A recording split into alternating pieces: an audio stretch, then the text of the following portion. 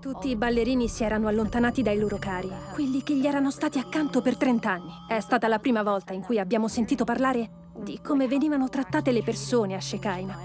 Per me è stato un punto di svolta, perché ho capito che forse mi trovavo in un ambiente poco sicuro. È stato lì che io, Concrete e Kylie ci siamo parlati. Una volta che la prima persona ha raccontato ciò che le era successo, si è fatto avanti qualcun altro. Avevamo tutti vissuto cose simili, ma nessuno l'aveva mai detto. A quel punto abbiamo capito che tutti noi avevamo vissuto delle cose strane. Sentire quelle storie è stato sconvolgente. Il modo in cui eravamo stati trattati e io non me ne ero accorta.